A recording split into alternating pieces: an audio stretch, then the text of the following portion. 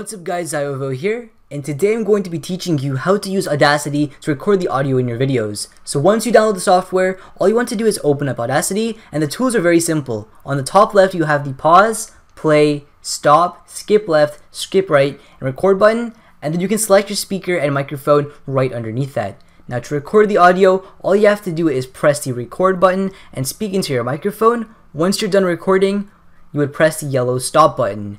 Now Audacity records in layers as well, and using the selection tool, you can actually select where to record from next. So as you can see, I'm going to record after I finish talking to record the next layer and then press record, and it's going to record in another layer.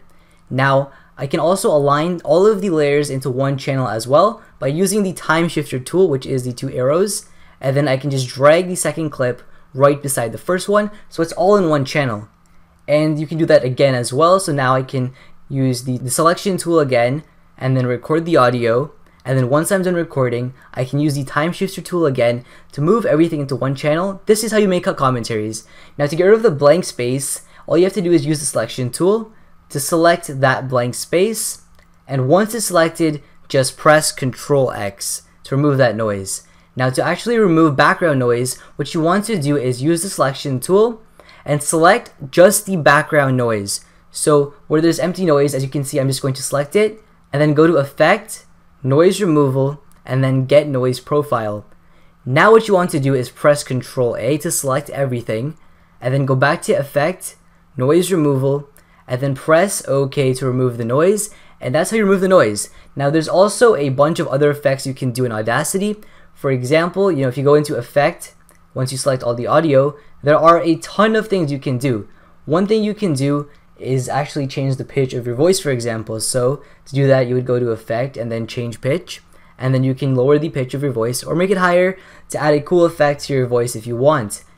Now, another thing you can do if the audio is too low is actually amplify the audio. This is what I do since sometimes I'm too far away from the microphone. To, now to do this, just press Control A, go to Effect, then go to Amplify, and then just amplify the audio. I amplify it by I think you know five, six decibel points, and that should actually amplify the audio so it's clear to listen to and it's loud enough. Now once you're done editing in Audacity, you can actually save your audio file by going to File and then Export and then from there you can save your file as a WAV. But yeah, that's about it. It's a very simple tutorial because the software is very easy to use. Hopefully you guys did enjoy it. If you guys did like this video, be sure to give it a big thumbs up. And as always, thanks for watching. My name is Ziovo, and I'm signing out.